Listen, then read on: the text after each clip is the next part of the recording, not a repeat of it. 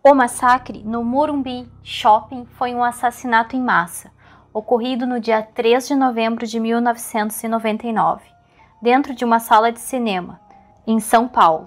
O autor, Mateus da Costa Meira, então estudante de medicina de 24 anos, matou três pessoas que estavam na sala e feriu outras quatro.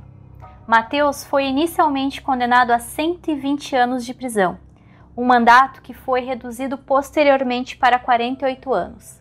Depois que ele tentou matar outro preso, foi determinado em 2011 que ele tinha que ser transferido para um hospital psiquiátrico, onde permanece até hoje. Ele é conhecido no Brasil como o atirador do shopping center ou atirador do cinema. Olá, esse é o canal Literando na Madrugada, sejam todos bem-vindos. Já vou pedir para vocês deixarem o like no início do vídeo que isso ajuda muito no crescimento do canal. O YouTube precisa entender que vocês gostam dos conteúdos, então estou muito feliz que o canal está crescendo a cada dia, mas preciso que ele cresça mais. Preciso do apoio de vocês, pessoal. Comentem aqui o que vocês estão achando dos casos, mais sugestões de casos criminais e biografias. Ative o sininho de notificação também para vocês ficarem inteirados nos novos vídeos que são postados aqui. Então, vamos à história de hoje. Mateus da Costa Meira nasceu no dia 4 de abril de 1975. No ano que ocorreu, em 1999, que ocorreu o massacre, ele vivia sozinho em um apartamento em São Paulo. E ele estava estudando medicina na Faculdade de Ciências Médicas da Santa Casa de São Paulo. Ele estava então no sexto semestre e faltavam apenas 15 dias para sua formatura. Sua família era rica, incluindo seu pai, que era também médico. Ele morava em Salvador, onde era sua cidade natal, e Mateus recebia regularmente dinheiro de seus pais para viver uma vida confortável. Ele passava a maior parte do dia então sozinho e jogando videogames. Ele foi descrito então como a maioria das pessoas como tímido, introvertido e apático e ele tinha um fraco desempenho acadêmico. Teve uma vez então que ele se recusou a fazer um trabalho obrigatório da faculdade e ele foi enviado para a divisão de psicologia da instituição. E por algumas fontes, no entanto, ele foi descrito como uma pessoa gentia, gentil desculpa, e calma, que mudou de personalidade meses antes do ataque. Então, antes do massacre, ele já possuía uma pistola, mas optou por obter uma arma mais poderosa, uma submetralhadora, que ele adquiriu ilegalmente. A polícia também investigou por dois crimes adicionais: posse de drogas e falsificação de CDs. Em seu apartamento, ele encontraram também equipamentos para pirataria de CDs e algumas drogas e munição. Mateus disse à polícia que ele planejava esse ataque sete anos antes e que escolheu o filme Clube da Luta o que estava passando no dia do ataque, estava passando esse filme porque o personagem principal, ele sofria de esquizofrenia. Segundo testemunhas, então, no dia da ação, no dia 3 de novembro de 1999, dentro da sala 5 do cinema do Morumbi Shopping, zona sul da capital paulista, Matheus, na época, então ele tinha 24 anos, começou a assistir o filme na primeira fila.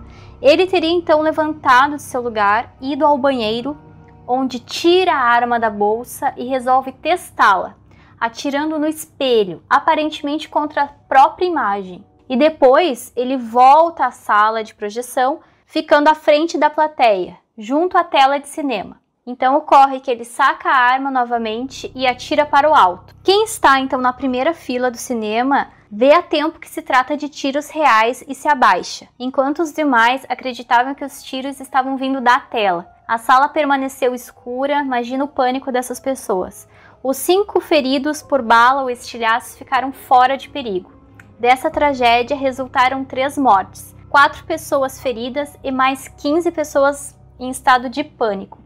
Os tiros duraram cerca de 3 minutos. Tal tragédia rendeu a Mateus o apelido que carrega até hoje. E o filme que estava sendo exibido no momento dos disparos era O Clube da Luta. Preso em flagrante, então Mateus acabou condenado a mais de 120 anos e 6 meses de prisão, em regime fechado. Seus advogados alegaram que Mateus era semi-imputável, ou seja, possuía consciência parcial de seus atos.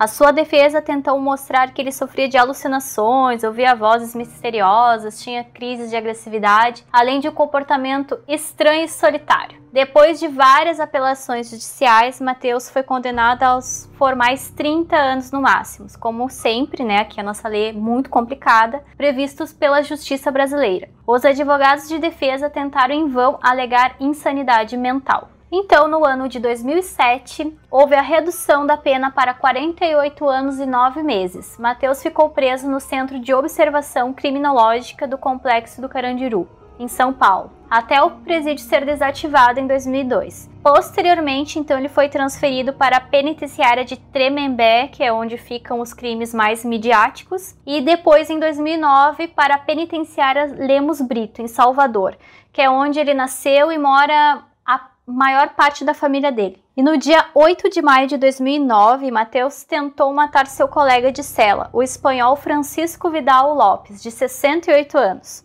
com uma tesoura, na penitenciária Lemos Brito, na cidade de Salvador, e foi autuado por tentativa de homicídio.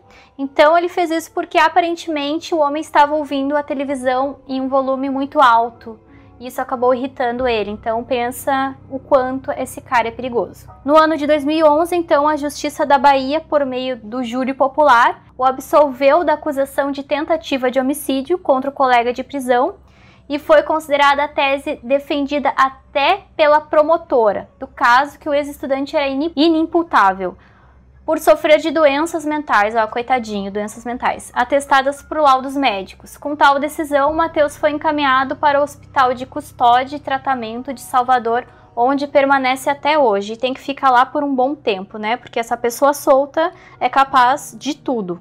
Então, que ele permaneça lá pelo resto da vida, né? Porque essa pessoa é muito perigosa, ela, a sociedade corre riscos com essa pessoa fora da cadeia, fora da, desse instituto aí que ele tá, né? Que ele tá sendo tratado com doenças mentais. Então, que ele permaneça lá para toda a vida. E espero que vocês tenham gostado do caso de hoje. Então, deixe o like novamente, se inscrevam no canal e mais comentários aí, pessoal, sobre casos criminais, biografias que vocês gostariam que eu trouxesse aqui. E casos também diferentes, né? Não tão os famosos, digamos assim, mas algo que eu não conheça, se vocês souberem. Ou acrescentar algo nesse caso que não foi falado também. Então vai acrescentar muito aqui para o canal, tá bom? Então, esse foi o caso de hoje e até breve.